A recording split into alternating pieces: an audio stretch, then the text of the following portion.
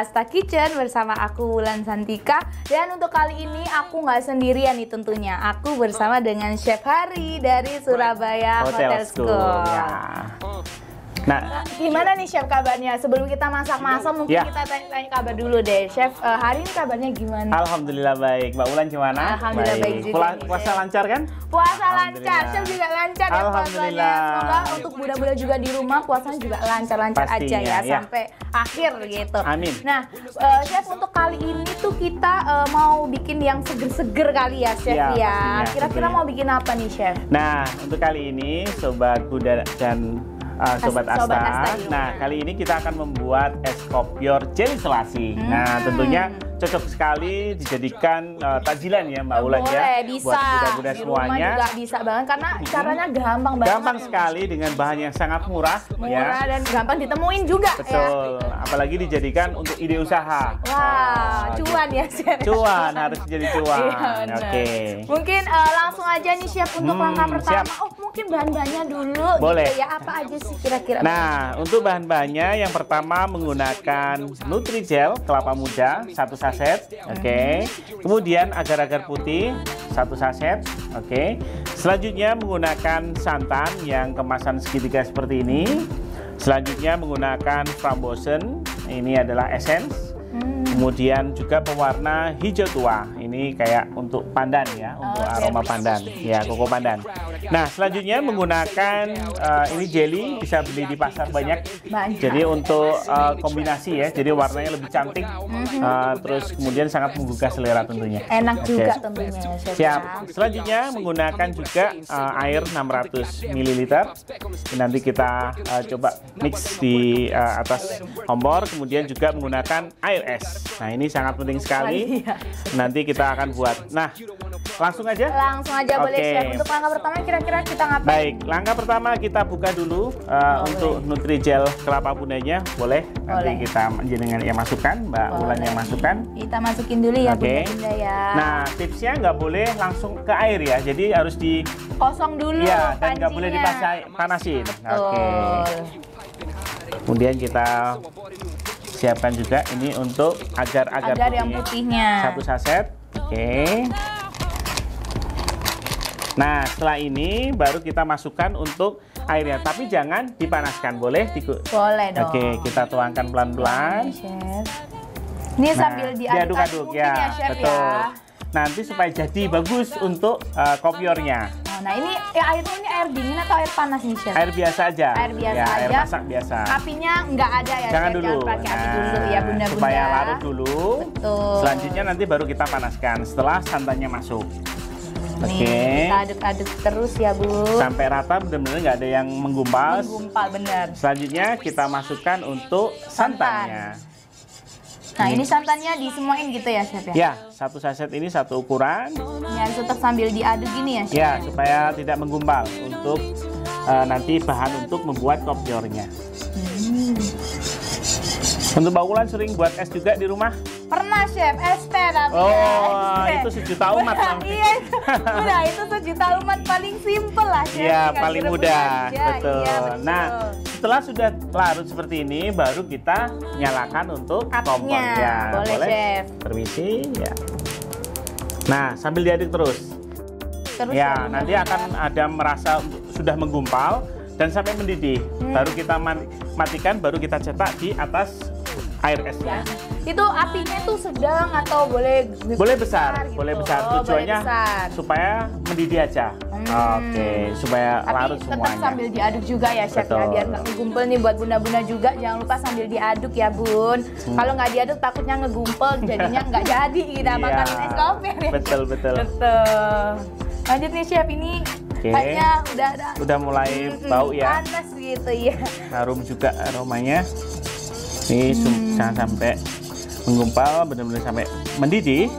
Baru nanti kita matikan, selanjutnya kita cetak. Aduk dulu sampai menggumpal, Gumpal. sampai ya panas, nanti sampai mendidih, baru kita cetak. Nah, Nah, ini pakai pancinya dari Asta Homeware ya buat bunda-bunda mungkin ada yang bertanya gitu Iya. ya chef ya. Ini kita lagi pakai panci set dari New Kiwis ya chef Oke. ya. New Kiwis dari Asta Homeware tentunya. Nah, mungkin buat teman-teman juga bunda-bunda yang lagi di rumah mungkin juga tanya gitu ya. Ini tuh dia apa sih gitu ya kan? Keunggulannya. Keunggulannya Ah, betul. oke. Nah, ini kita jelasin satu persatu ya bunda-bunda ya. Untuk New Kiwis ini sendiri itu dia namanya panci set. Di mana dalam panci set itu chef dia tuh ada eh, tujuh item Oh, gitu. tujuh item. Lengkap juga ya? banget. Hmm. Yang pertama itu nanti eh, bunda-bunda bisa eh, dapetin si casserole pan-nya atau biasanya kita sebut saucepan lah ya untuk bunda-bunda ya. di rumah.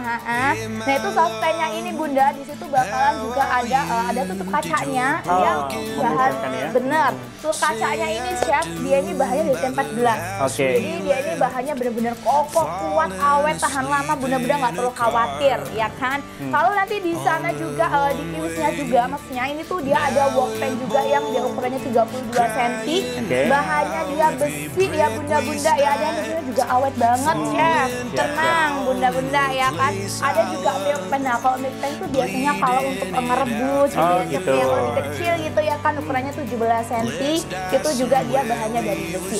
Dan semuanya bunda itu dia bahannya sudah anti lengket tentunya sudah PFOA free dan tentunya juga udah 100% food grade ya. Dan kalau misal bunda-bunda nih ah, nggak ada apa kompor gas di rumah Ya. gitu bisa banget mungkin adanya kompor elektrik atau kompor induksi Nah, gitu ya. bisa bisa aman banget karena panci ini itu dia bisa digunakan di segala jenis kompor nah ada free juga chef itu udah banyak ya kan Oh, udah banyak Tapi sekali. Kita Masih- masih ada free-nya, Chef. Spesial Bener loh. Ya. Ada free-nya. Free-nya apa? Yang pertama kita ada spatula yang bahannya nilon. Oh, ya. gitu. Itu kita juga ada supledel bahannya nilon juga. Dan tentunya yang terakhir kita ada free untuk talenan jeraminya, Chef. Oh. Udah pasti.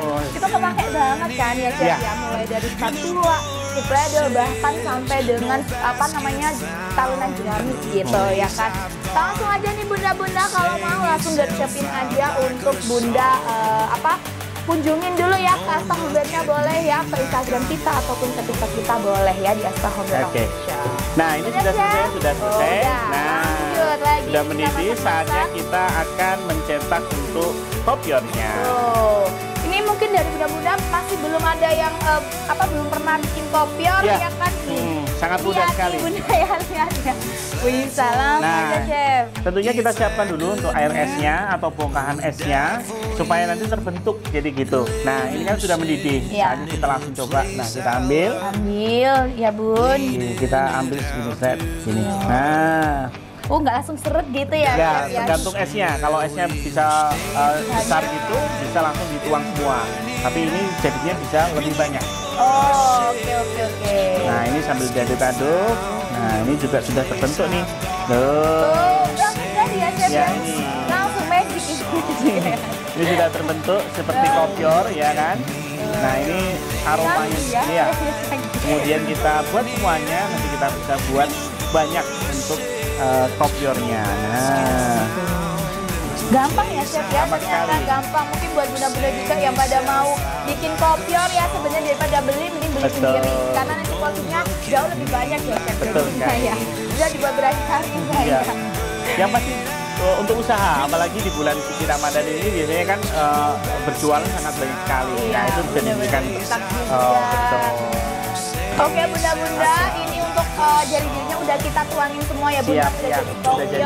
Next stepnya kita mau bikin apa chef? Nah, kali ini setelah kopinya jadi, kita akan mix, kita campur dengan jelly, kemudian gula, esen, kemudian pewarna hijau tuanya. Nah itu dima- mau dimasukin di mana tuh chef untuk Nah, semuanya? kita akan masukkan ke sini Langsung semuanya. aja nih bunda. Kita tuang. Wah, ini warnanya masih putih ya nanti akan berganti menjadi hijau Warna segar. Tapi sudah menggiurkan ya Iya. chef ya. Nah, ini cocok sekali. Semoga selera nih bunda-bunda nih. Oke, mungkin langsung aja kali ya chef Ya, ya. Langsung aja. dituang-tuangin semuanya. Ini kita masukkan untuk simple sirup atau gulanya. Oh gula nih bunda. Nah, untuk perbandingannya, sekedar wawasan bagi teman-teman semuanya, itu adalah 500 mili gabung dengan 1 kg untuk gula pasirnya. Nah, ini jadinya seperti ini. Nah, kemudian kita masukkan semuanya. Ya. Oke. kemudian kita masukkan juga untuk jelinya nah sudah kebayang segarnya Mbak Ulan? Uh, kebayang banget nih Chef. Dari tadi aku diam itu terpaku aku Chef. Endul kayaknya ini ya Nah, Chef ya. selanjutnya kita tambahkan aromanya menjadi lebih segar dengan esen frambozen. Ini kalau untuk esnya ini eh, harus yang kayak gini atau mungkin boleh pilih. Oke, uh, sebagai tips bisa juga menggunakan sirup yang sudah jadi. Kan banyak sirup tuh. Nah, kalau kita belum nggak ada sirup, kita bisa menggunakan esen ini karena lebih irit tentunya. lebih irit. Iya. Bunda-bunda yang di rumah apalagi untuk eh, bisnis ya, Iya. bisa banget lebih irit bunda. Nah, Bunda. saja karena Iya, dia betul. uh, untuk aroma. Nah, ini dia. Nah, kemudian kita tambahkan untuk pewarna hijaunya. Karena kita mau bikin minuman hijau ya, Chef. Iya, ya. koko pandan. hijau, Karena ini kan pandan, benar. uh, es kopior. Nah, kemudian kita tambahkan. Nah, cukup, cukupnya dulu kita coba dulu warnanya. Nah, langsung berubah warna magic 1 2 3 celing gitu ya, ya warnanya. ya. Nah, cukup aja jangan terlalu hijau takutnya uh, kurang menggugah selera Iya, tentunya. tapi ini bau-baunya udah merasuk ini Chef ya. Ya. Oke Bunda, kayaknya kita udah jadi juga yang seger-seger apa Ya. nih Chef namanya? Uh, Ini, ini dia es kopior jelly selasi. Buat bunda-bunda juga jangan lupa untuk uh, cek ya di Instagramnya kita, di TikToknya kita juga, dan di marketplace lainnya di Asta Homeware Official. Oke. Oke nih Chef, bersama Asta Homeware, better life, better home. And I will sing to your holy name, and I will sing to your holy name, yeah. He's the God of the ancient days, he's still the God of the current days. At the mention of his name, every knee shall bow, no one they can be compared to your holy name. He was crucified on the third day, he resurrected. Don't feel bad to the time.